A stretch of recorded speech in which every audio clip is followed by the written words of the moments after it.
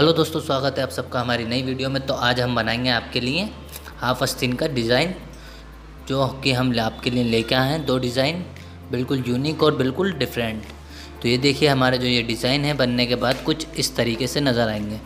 तो एक एक करके हम दोनों डिज़ाइन की वीडियो, एक ही वीडियो में है दोस्तों इनकी। तो आप देखिएगा, ध्यान के साथ देखिएगा, बहुत ही ईजी तरीका और बहुत ही सिंपल है। बस आप वीडियो पूरी देखिएगा ध्यान से, ठीक है? तो चलिए शुरू करते हैं। तो ये देखिए हमारी अस्तीन आ चुकी है हाफ़ ठीक है, ये अस्तीन आ गई हमारी। अब इसके अंदर आप देख लीजिए, यहाँ से हम लेंगे। ये देखिए, डेढ़ इंच। ठीक है, ये डेढ़ इंच का निशान ले लिया हमने। अब यहाँ से हम कट लगाएँगे। ठीक है तो कट हमें कितना लगाना है? डेढ़ इंच का। ठीक है तो डेढ़ इंच का ही हम कट लगाएँगे स्ट्रेट इसमें से। ठीक है तो ये हमारा कट, ये देखिए इस तरीके से डेढ़ इंच और ये डेढ़ इंच आ चुका है आपका। तो इस तरीके से आपको सिंपली से निशान लगा लेना है। अब इसको उल्टा रखना है आपको, ठीक है?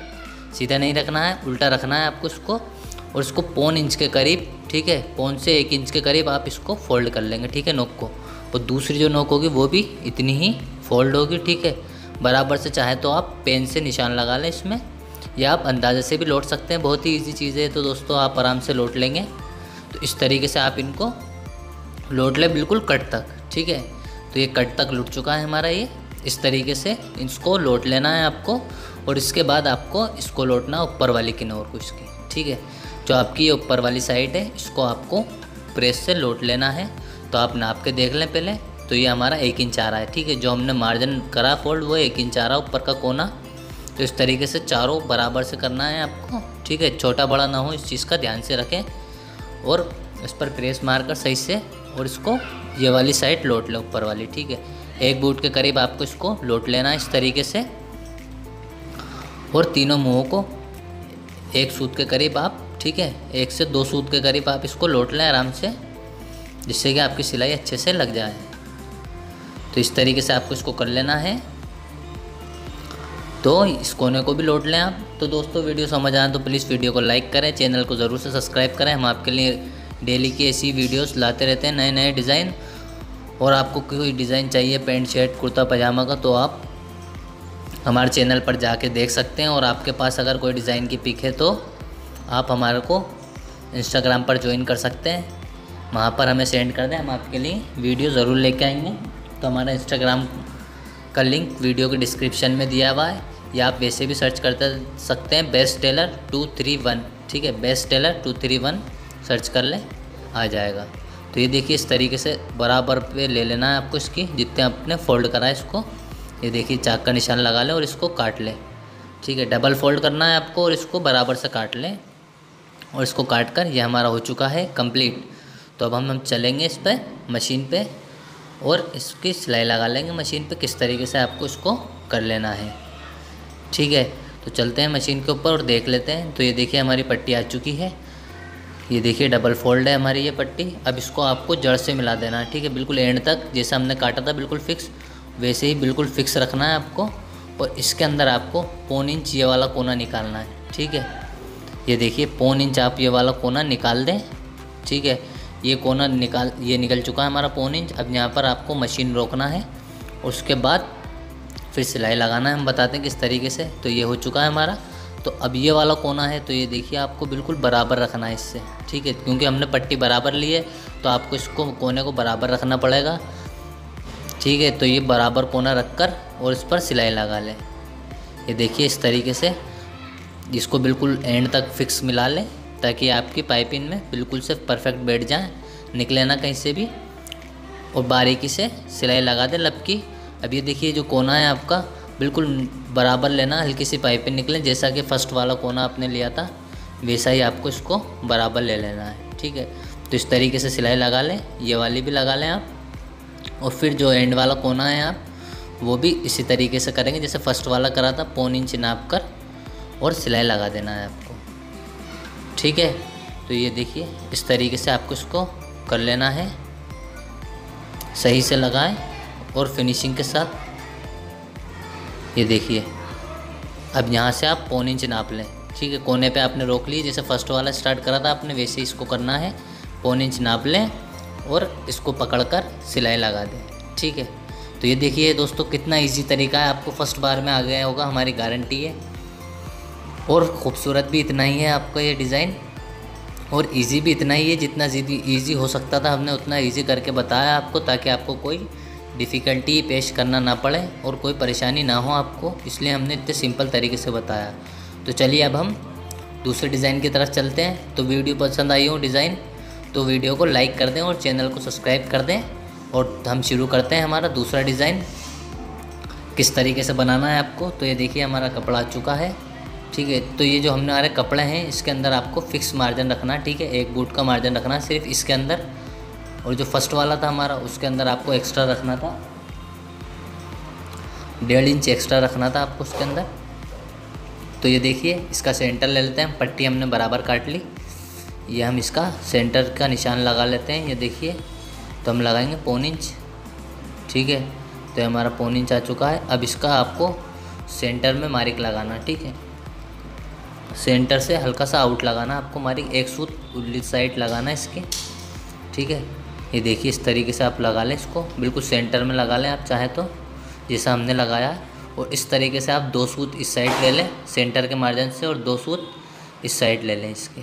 ठीक है? तो अब इसको हम स्ट्रेट काट देते हैं, बिल्कुल। ठीक है, इस तरीके से आप स्ट्रेट काट दें इसको, बिल्कुल। और ये कोना दो दो सूत का, ये कट कर दें इस तरीके से। ठीक है? तो ये दूसरा भी कर दें आप इस तरीके से। तो ये कट हो चुका है हमारा। अब आपको इसमें करना क्या है? आपको दो सूत के करीब पट्टी उतार देना है इसमें से, ठीक है?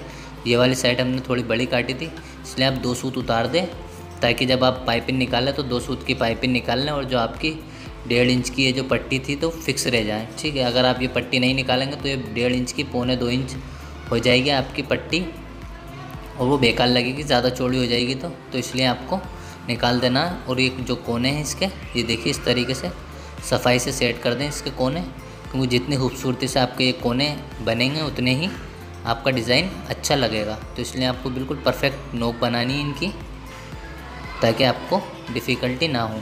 तो ये देखिए, इस तरीके से हो चुका है। अब हम इसको चिपका लेते हैं कपड़े पे। ये देखिए, हमारा कपड़ा आ चुका है। अब इसको इस तरीके से आपको रखना है और चिपका लेना है। दो सूत का मार्जिन छोड़कर इस तरीके से दूसरा भी चिपका लेंगे। और इसको चिपका कर फोल्ड करना है। तो हम फटाफट से फ़ोल्ड करते हैं इसको। फिर आपको बताते हैं कि किस तरीके से ये लगने वाला है फ़ोल्ड करे बाद।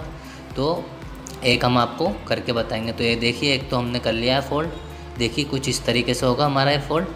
और दूसरा हम आपको बता देते हैं। तो आपको पानी लगा कर इस पर और अच्छे से चिपका देना है इसको। ठीक है, बिल्कुल फिनिशिंग से चिपकाना आपको हल्का सा भी उठे ना, ताकि बाद में आपको सिलाई लगाते टाइम दिक्कत ना हो। प्रेस का ही काम मेन है दोस्तों, इस डिज़ाइन के अंदर आपको। बस प्रेस का काम सफ़ाई से करना है। बाकी सिलाई में तो आपको टाइम नहीं लगेगा। एक एक सिलाई का काम है। एक से दो सिलाई लगेंगी आपकी। ज़्यादा कुछ नहीं लगेगा बस। इसलिए आपको प्रेस पर ध्यान से काम करना है प्रेस का। तो ये देखिए इस तरीके से सफ़ाई से कोने बनाना है आपको और सफ़ाई से इसको फोल्ड कर लेना है। पानी लगाकर फोल्ड कर लें क्योंकि एक कॉटन कपड़ा है, सूती हमारा। तो इस पर पानी नहीं लगाएँगे जब तक ये चिपकेगा नहीं कपड़ा। तो आप पानी लगा कर करें। सफ़ाई के साथ और कपड़े को पूरा चिपका दें ताकि ये उठे ना, सिलाई लगाते टाइम। तो ये हो चुका है। अब ये वाली साइड है इसको भी आप फोल्ड करके रख लें। दोनों को फोल्ड कर कर सफ़ाई के साथ और रख लें।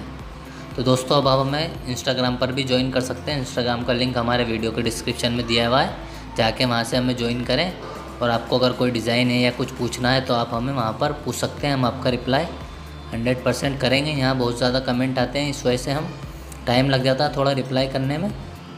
तो आप इंस्टाग्राम पर ज़रूर करें हमें मैसेज इंस्टाग्राम का नेम है हमारा बेस्ट टेलर ठीक है टू थ्री वन स्पेस नहीं देना best tailor two three one search कर सकते हैं आप। तो ये देखिए, ये हमारी पट्टी। अब आपको पाइपिंग निकालते हुए लगानी है ये पट्टी, दो सूत की। इस तरीके से पाइपिंग निकालते हुए। डबल कपड़ा ले लेना आपको और सफ़ाई के साथ। सिलाई लगा दे बराबर की पाइपिंग निकालते हुए। ठीक है? ये हमारी लग चुकी है। अब दूसरी सिलाई लगा लें। सफ़ाई के साथ बिल्कुल बारीकी से सिलाई लगाना दोस्तों आपको। ज़रा सी भी आपको आउट नहीं करना है इस चीज़ को। ठीक है? जितनी फिनिशिंग से आप काम करेंगे, उतना ही खूबसूरत आपका डिज़ाइन लगेगा। और अगर आप लापरवाही करेंगे या सिलाई टेढ़ी थी या तिरछी करेंगे तो आपका डिज़ाइन उतना अच्छा नहीं लगेगा। तो इसलिए आपको सही से करना है इसको। तो ये हो चुका है, अब हम दूसरी पट्टी लगाएँगे। तो वो देखिए किस तरीके से लगाना है आपको। ये देखिए, दो सूत जो हमने रखा था, पट्टी कट करी थी इसके अंदर से, वही दो सूत आपको इसको रख लेना है और दो सूत की ही पाइपिंग निकालनी जो मुँह है इसके बराबर रहेंगे दोस्तों, रख के देख लें आप, आउट नहीं हो इसके मुँह, इस चीज़ का ध्यान रखें। ये देखिए इस तरीके से खूबसूरत, आप चाहे तो इसके अंदर बने बाद बटन भी लगा सकते हैं। तो ये देखिए, इस तरीके से आपको कर लेना। अब इसको लगाना कैसे, ये आप ध्यान से देखिएगा। किस तरीके से आपको इसको लगा लेना है। तो हम आपको बताएँगे, बहुत ही ईजी तरीका। तो मार्जिन काट लेते हैं हम इसका सफ़ाई के साथ, ताकि हमें बाद में जब हम सिलाई लगाएँ तो हमें परेशानी ना हो इसको सिलाई लगाते टाइम। इसलिए काट लेंगे आप।